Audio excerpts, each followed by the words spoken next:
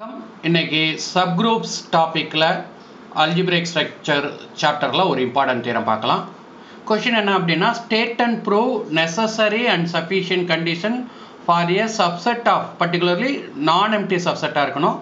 அது அந்த குரூப்போட நான் எம்டி சப்செட் சப்குரூப்பாக இருக்கிறதுக்கு ஒரு நெசசரி அண்ட் சஃபிஷியன்ட் கண்டிஷனை ஸ்டேட்மெண்ட்டோட ப்ரூவ் பண்ண சொல்லியிருக்காங்க. ஃபஸ்ட்டு ஸ்டேட்மெண்ட் பார்க்கலாம். ஜிங்கிறது group under the binary operation star ஹெச்ங்கிறது non empty subset of ஜீனு எடுத்துக்கலாம். இப்போ ஹெச் சப்குரூப்பாக இருக்கிறதுக்கு நெசசரி சஃபிஷியன்ட் கண்டிஷன் என்னென்னா if and only if a comma b ஹெச்சில் எடுத்தோம்னா கண்டிப்பாக ஏ ஸ்டார் பி இன்வர்ஸ் ஹெச்சில் இருக்கணும். ஸோ இது வந்து எல்லா எலமெண்ட்டுக்கும் ட்ரூவாக இருக்கணும். இதுதான் ஸ்டேட்மெண்ட் ப்ரூஃபை பார்க்கறதுக்கு முன்னாடி டெஃபினேஷனை பார்த்துடலாம். ஜிங்கிறது ஒரு பைனரி ஆப்ரேஷன் ஸ்டாரில் குரூப் ஹெச்ங்கிறது non M set non empty subset of G இப்போ ஹெச்சை சப்குரூப்னு எப்போ சொல்லுவோம்னா ஹெச் தனியாகவே ஒரு குரூப்பாக இருக்கணும். எந்த ஆப்ரேஷன் அதுதான் முக்கியம். சேம் ஆப்ரேஷன் ஜியில் டிஃபைன் ஆகிருக்கிற அதே ஆப்ரேஷனில் ஹெச் தனியாக குரூப்பாக இருக்கணும். குரூப்னா க்ளோஷர் அசோசியேட்டிவ் ஐடென்டிட்டி இன்வர்ஸ் இந்த நாலு ப்ராப்பர்ட்டியும் இருக்கணும். இருந்ததுன்னா ஹெச்சை சப்குரூப்னு சொல்லுவோம். ஸோ இப்போ நெசசரி பார்ட் ப்ரூவ் பண்ணலாம். ஜிங்கிறது குரூப் அண்டர் ஸ்டார்னு வச்சுக்கலாம். ஹெச் இஸ் ஏ நான் எம்டி சப்செட் ஆஃப் ஜின்னு எடுத்துக்கலாம். இப்போ ஃபஸ்ட்டு பார்ட் அசியூம் பண்ணலாம். H is a subgroup of gin assume பண்ணிக்கலாம்.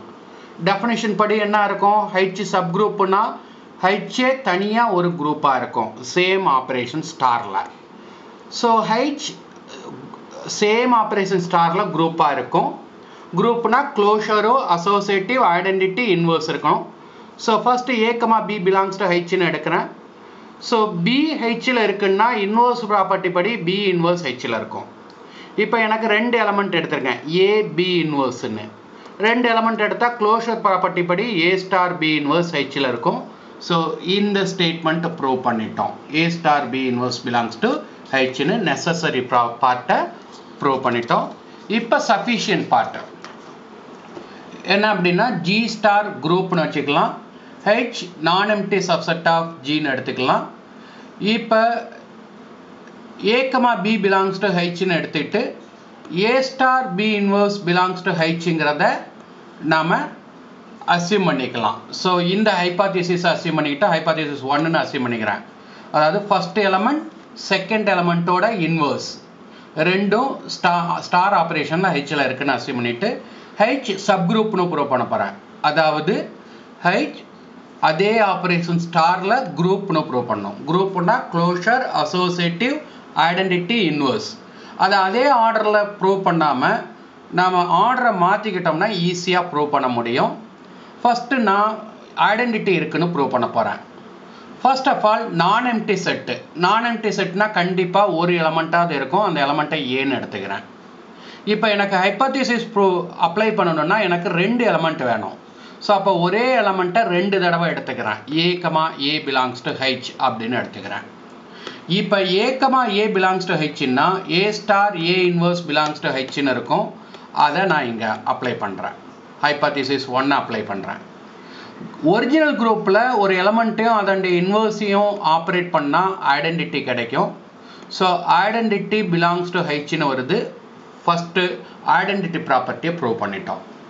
அடுத்தது இன்வர்ஸ் ப்ரூவ் பண்ண போகிறோம் a belongs to H previous step படி இ பிலாங்ஸ் டு ஹெச்னு தெரியும். எனக்கு ஹைபாதிசிஸ் அப்ளை பண்ணால் ரெண்டு எலமெண்ட் வேணும். ஒரு எலமெண்ட் ஐடென்டிட்டியாகவும் இன்னொரு எலமெண்ட் எந்த எலமெண்ட்டுக்கு இன்வர்ஸ் தேவையோ அதையும் எடுத்துக்கிறேன்.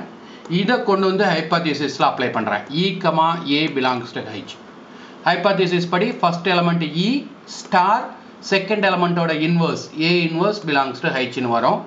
ஸோ அது இங்கே கிடைக்கும். இப்போ ஒரு ஐடென்டிட்டியும் ஒரு எலமெண்ட்டையும் ஆப்ரேட் பண்ணால் ஒரிஜினல் குரூப்பை பொறுத்த வரைக்கும் எலமெண்ட் கிடைக்கணும். ஸோ ஏ இன்வர்ஸ் கிடைக்கும். இப்போ ஏ இன்வர்ஸ் பிலாங்ஸ் டு ஹெச்னு ப்ரூவ் பண்ணிட்டோம். ஸோ இன்வர்ஸும் எக்ஸிஸ்டாக இருக்கும். அடுத்தது closure a comma b belongs to ஹெச்னு எடுத்துக்கிடுங்க. ப்ரீவியஸ் ப்ராப்பர்ட்டி படி b belongs to ஹெச்னா b inverse belongs to H எனக்கு க்ளோஷர் ப்ராப்பர்ட்டிஸ் ஹைபாத்திசிஸ் அப்ளை பண்ணணும்னா எனக்கு ரெண்டு எலமெண்ட் வேணும். ஒரு எலமெண்ட் ஏயாவும் இன்னொரு எலமெண்ட் பி இன்வர்ஸாகவும் எடுத்துக்கிறேன். ஹைப்பாத்திசிஸ் என்ன? ஃபஸ்ட்டு எலமெண்ட் ஸ்டார் செகண்ட் எலமெண்ட்டோட இன்வர்ஸ் ஸோ நமக்கு ஒரிஜினல் குரூப்பில் இன்வர்ஸோட இன்வர்ஸ் ஒரிஜினல் எலமெண்ட்டு கிடைக்கும். பி இன்வர்ஸுக்கு இன்வர்ஸ் பிஏ கிடைக்கும். அப்போ a star b belongs to ஹெச்னு வருது. க்ளோஷர் ப்ராப்பர்ட்டி வந்தாச்சு.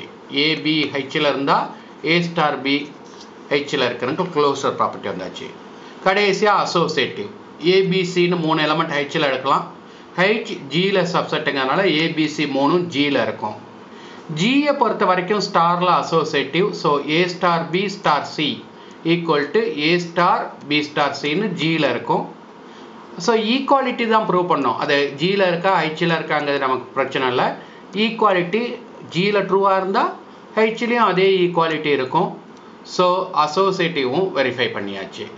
அப்போ க்ளோஷர் அசோசியேட்டிவ் ஐடென்டிட்டி இன்வர்ஸ் நாலும் ப்ரூவ் பண்ணியாச்சு. இதில் ஸ்டார் ஆப்ரேஷனில் ஹைச்சை பொறுத்த வரைக்கும். So H comma star is a குரூப்னு வரும். That is H is a subgroup of gin sufficient பார்ட்டும் ப்ரூவ் பண்ணியாச்சு. ஸோ இதோட இந்த தீரம் ஓவர் நெக்ஸ்ட் வீடியோவில் வேறு ஒரு தீரத்தோட சந்திக்கலாம். நன்றி.